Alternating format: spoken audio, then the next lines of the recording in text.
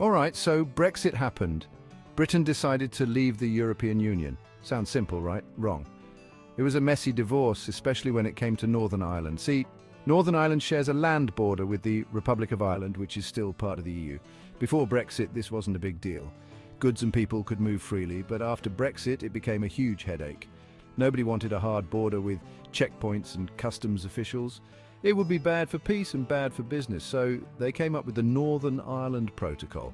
Think of it as a compromise, a way to keep things running smoothly, or at least that was the idea.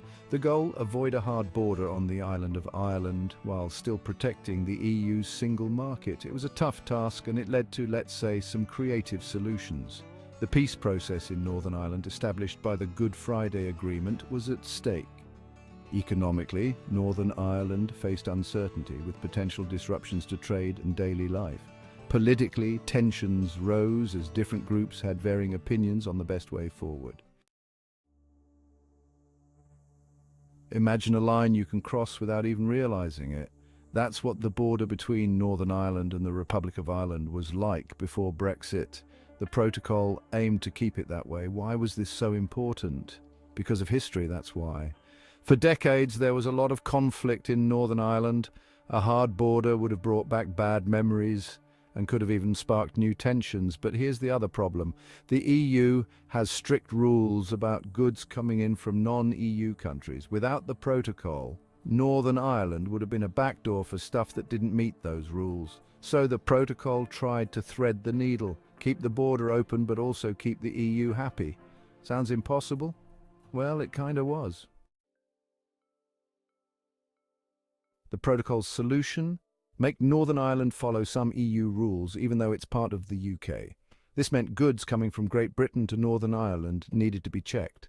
Yep, more paperwork. It also meant Northern Ireland had to follow some EU rules on things like food standards and product safety. This didn't make everyone happy, especially businesses used to trading freely within the UK. Then there's the consent mechanism. This basically said that the Northern Ireland Assembly could vote on whether to keep the protocol after a few years. It was supposed to give them a say, but it ended up causing more arguments.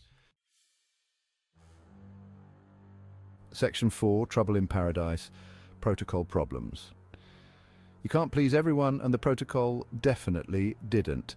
A lot of people in Northern Ireland, especially those who identify as British, felt like it was separating them from the rest of the UK. There were also practical problems. Remember those checks on goods? They caused delays and shortages. Imagine your favourite British sausages suddenly becoming harder to find. Not ideal. The political situation got messy too. The Northern Ireland Assembly was paralysed by arguments over the protocol.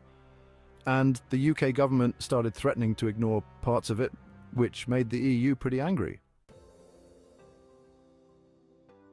Section 5. A New Hope, the Windsor Framework.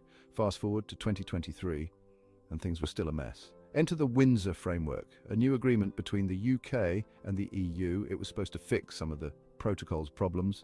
The Windsor Framework promised to reduce those pesky checks on goods. It also gave the Northern Ireland Assembly more of a say in how EU rules applied to them.